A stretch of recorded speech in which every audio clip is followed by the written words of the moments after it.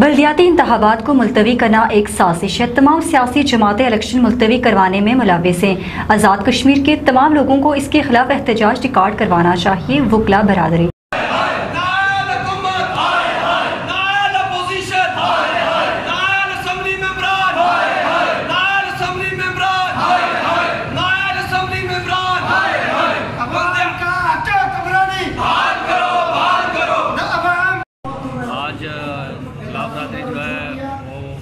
की एहतजाज कर रही है।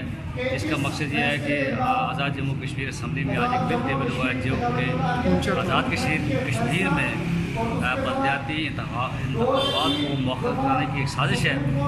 और जुमला सियासी जमातें, इसमें बिल्कुल उनकी तालमेल है और मशावर से संभल के ऐसा है।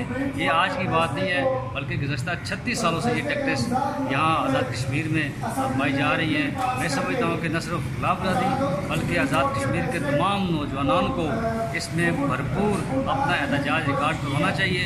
और ये जो सियासी जो मरूसी सियासत का ये जो निज़ाम है इसको ख़त्म करने में तमाम लोग बाहर लें। और ये जो आज़ाद कश्मीर की जो हुकूमत है हुकूमत है और जो अपोजिशन है और बाकी जो तालमेल की सियासी जमातें हैं, हम तमाम को ये वार करना चाहते हैं। अगर आप सुप्रीम कोर्ट के फैसले को इस तरह जो है वो उसकी बेरुती करेंगे, उसको कंडेम करेंगे तो इन ताला तमाम मुकला अपराधी मिल के जो है वो आपके खिलाफ सुप्रीम कोर्ट रुजू करेगी।